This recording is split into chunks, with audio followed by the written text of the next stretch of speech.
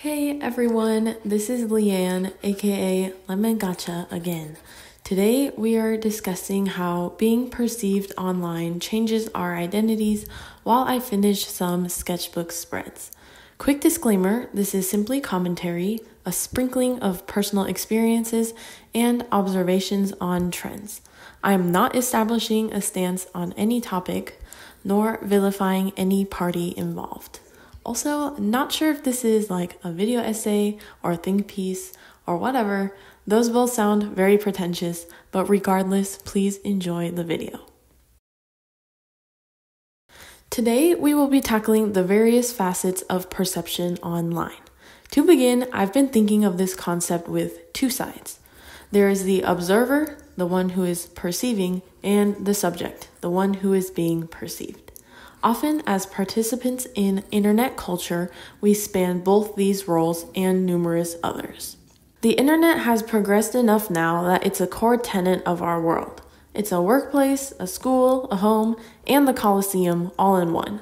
It embodies a plethora of roles as well, while housing all of us as spectators in its walls. Social media culture, in particular, is big on the you had to be there mindset with its fast moving trends, unique language, content niches, and drama. And the tea is that it's all curated. We cherry pick our photos for Instagram, something between casual and put together. We don't want to look like we're trying too hard, caring too much, or taking things too seriously.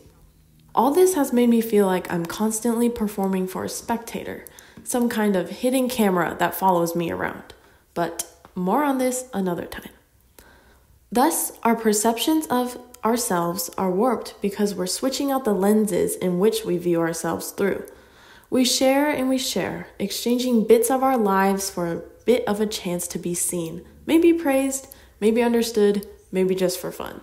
This is just the way things are. We long to be perceived, but doesn't it all feel like we're doing it for someone else? Who can say?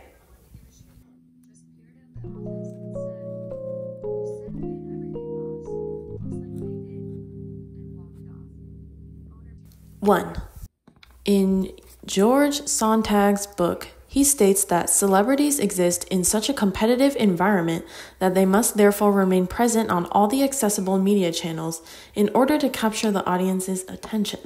However, with the wide range of social media personas, people very similar to you and me, who encompass a wide range of niches, there is, in essence, someone for everyone online. In the age of social media, the constant watchful eye of the internet, there is a massive increase in the prevalence of parasocial relationships. Parasocial relationships refer to the kind of one sided relationship that occurs when one party is emotionally attached and places their interest on a persona. Think celebrities. This person is completely unaware of the other's existence. Historically, this relationship is defined as something that audiences of television or mass media experience with the figures on screen. Because of the internet, the introduction of the interactive element, messaging, commenting, general accessibility, and faux feeling of connection to the persona makes for a deeper connection, or is it delusion, in the audience. And all of us have taken a seat in the audience at least a few times. You're even here right now. According to findapsychologist.org, this is somehow such a funny website URL. Like, yes, thank you, I will find one actually.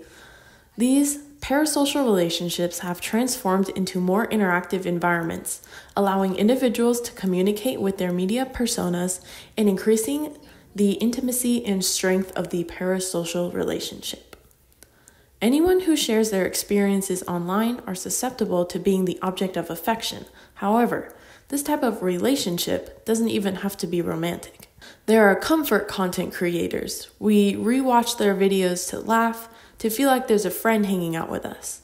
We have favorite YouTubers, favorite TikTokers, people who are uniquely themselves who receive comments saying, I wish I was your friend in real life. But that's just the problem, isn't it? This isn't real life. Not really.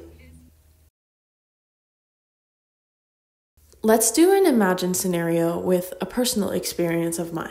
Imagine a not so stranger who is around your age has a parasocial crush on you. The first time you meet, they already know everything there is to know about you because of what you've shared online music tastes, current struggles.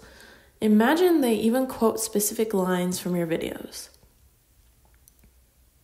You're 10% flattered and 90% uncomfortable. But it's not really hurting anyone, right? The way they continue to interact with you is commodifying and not a little dehumanizing, which you're able to brush off until you tell your friends and they freak out. Tell an adult to make sure nothing will happen to you and share your location with a friend. This person, they also try to tell you what to do and how to act. They impose their likes and dislikes on you and expect compliance. I become a paper doll. I'm flattened for consumption. Who will listen to a paper doll when she says she's uncomfortable? This person has willfully ignored the parts of your identity that don't fit their narrative. The handpicked parts of my identity from the image I post online are grasped tightly in their hands. Did I actually share that much? In conversations with this person, I start referring to myself in the third person because who is this Leeann but a sourdough starter of an idea that's grown into a loaf of bread that's unrecognizable to me. Perhaps I've used six too many metaphors here, but you get it, right? This tiny thing that's a comparative water drop in the bucket of my life experiences causes a tornado of cognitive dissonance. And I think, are these the inevitable consequences you reap from existing on the internet?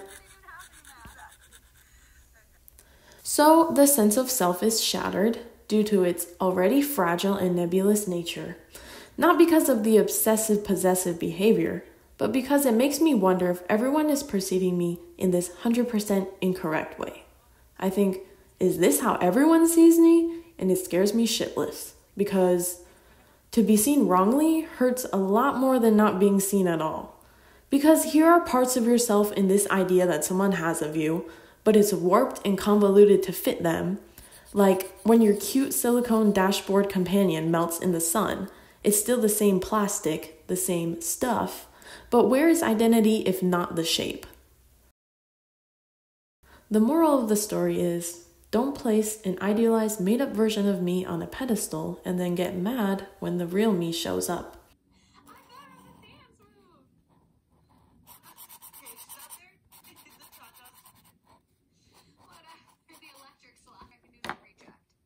Two, you can tell I heard the words cognitive dissonance in my AP Psych class at the ripe young age of 17 and ran with it for years to come, because now we're talking about the disconnect between the self and the online self.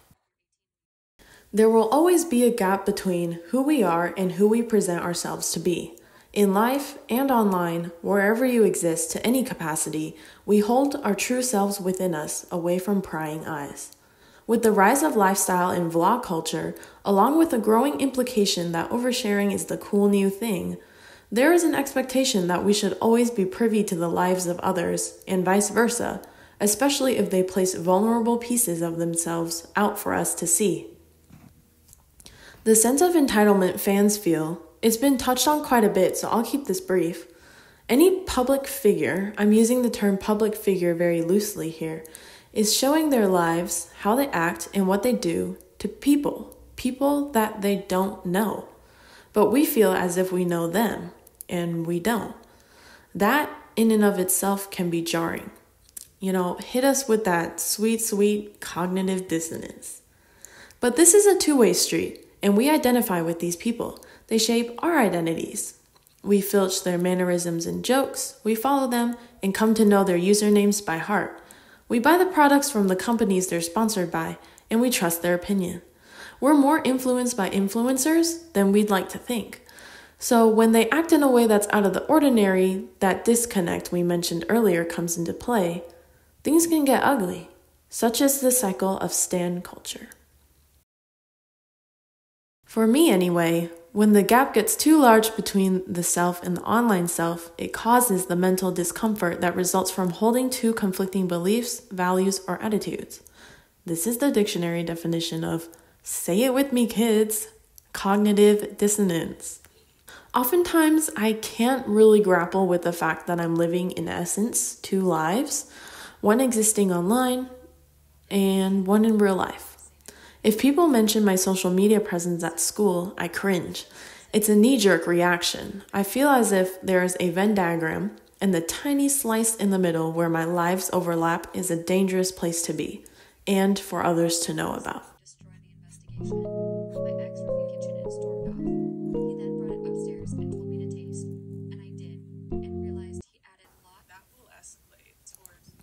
Three. On the boygenius EP, you'll find a song called Bite the Hand. Not only is this the song of the year, the line, Here's the best part distilled for you, is somehow such a raw, poignant statement that describes our next topic with just a few words. So, now what? We know we curate an experience for people, whether we have a following or not. Posts made specifically to garner attention are commonplace on the internet, like thirst traps. There are even smaller categories like Gatsby posting, where you share something that's specifically meant to be seen by one person, much in the way Gatsby hosted his extravagant parties to hopefully see one particular girl. A great deal of our experience online is committed to the act of wanting to be seen, but in a very specific way by a very specific set of eyes.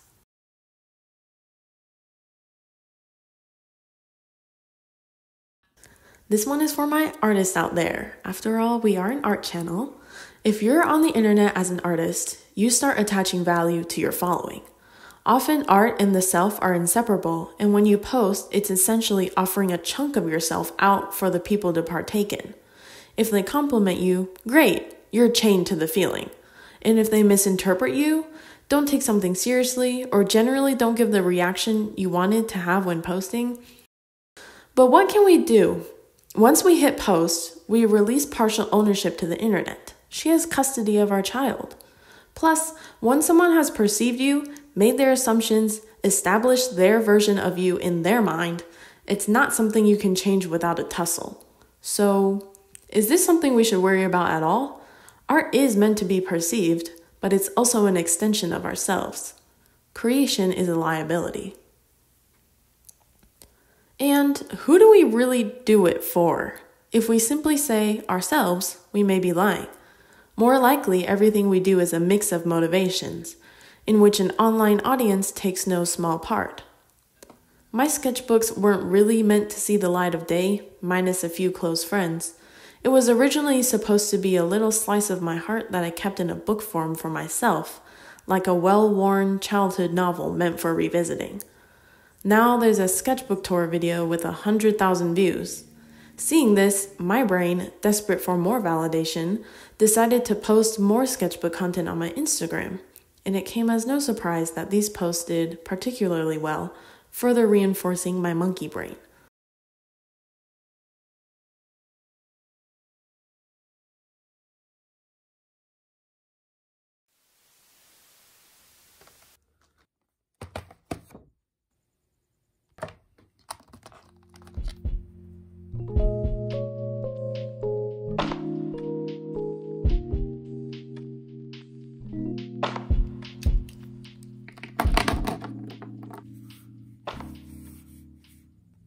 The students in my department at school have definitely flipped through the pages of my mind as well, and the teachers too. I'm not regretful of any of this. All of it was a conscious choice, right? I'm actually grateful that my sketchbook has opened doors for connecting with others, but in the beginning, I was sketching simply for the sake of it. Now, when I open the pages, I subconsciously think if it's going to be appropriate for my professor to show whatever I'm about to draw in the classroom, or if the aspect ratio will look good on Instagram?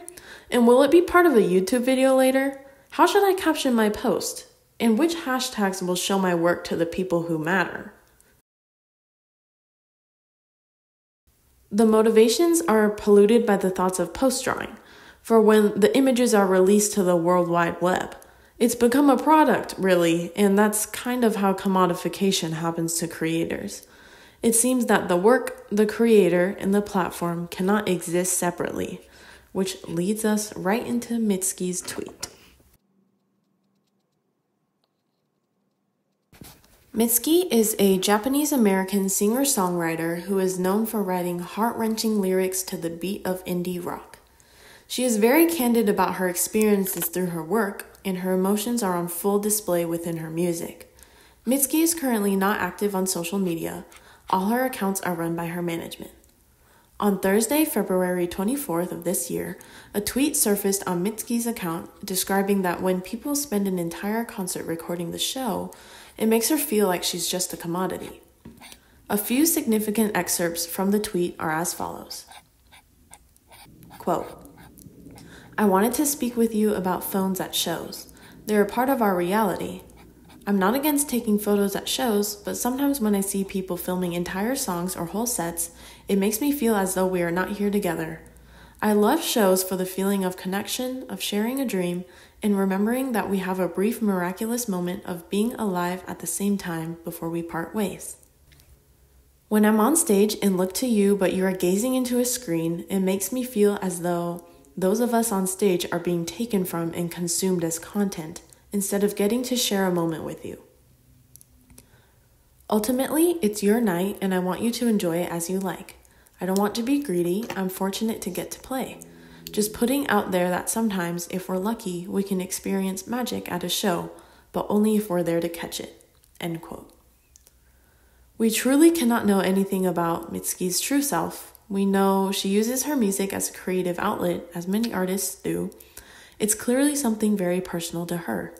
Unfortunately, many fans were unhappy about her tweet, citing personal issues that made it necessary to film the show. There was so much backlash that the tweet was eventually deleted. However, this whole debacle started as a polite request, and the reaction indicates something serious. Artists are just another piece of entertainment for consumption now. Mitski is just another TikTok soundbite that's been slowed with added reverb for aesthetics, rather than perceived for the human being she is. Rather, even her expressions of raw human emotion have been warped into another selling point of her character, when in actuality is a vital part of her identity. Commodification. It'll get you.